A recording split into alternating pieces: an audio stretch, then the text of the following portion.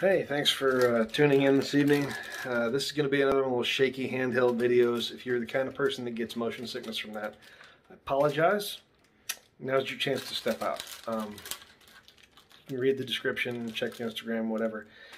Anyways, I use kerosene um, to supplement the heat in my house. Uh, it works pretty good. It's cheaper than the all-electric home that we have. And I just use it in the evenings. This plastic bag you see me here with right now is the Easy Pour replacement spout and vent kit. I'll try and do a link to that from below, whatever. Um, anyways, I bought it like, you know, just now, just like an hour ago. Um, so I can't speak for how it holds up to UV rays or anything like that. But this thing's flipping nice. This cap, it goes on the top. Right there. That, uh, that thing, it doesn't pop on and off like the old ones did. It screws on and off. It's got a really nice gasket in it, some stuff like that. I am actually going to stop the film, turn this around, and take you outside so you can see it. Um, sorry, it's dark outside. It's just how it is. And uh, let's see what we're dealing with.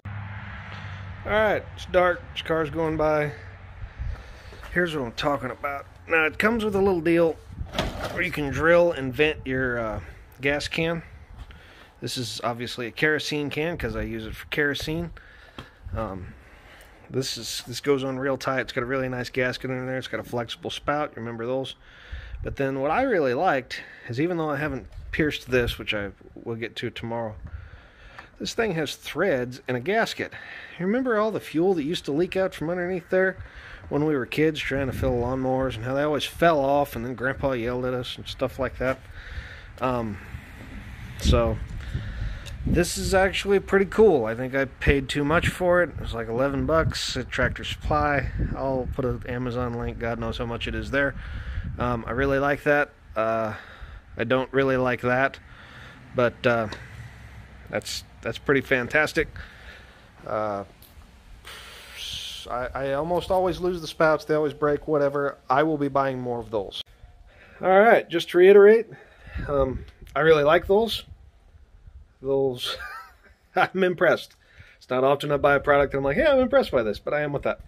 Um, yeah, that's pretty much it. Also, we're going to have some new videos. Watch the light. Sorry about that. We're going to have some new videos coming up at some point in time because I have a little bit of free time. And uh, we have departed from the Nissan as my daily. My wife's driving it right now, but as you can see, I have replaced it already because I am a financial whiz. No, I'm just a redneck. And uh, there you have it. We'll do something on that. Uh, thank you so much for your time, and we'll talk to you later. God bless.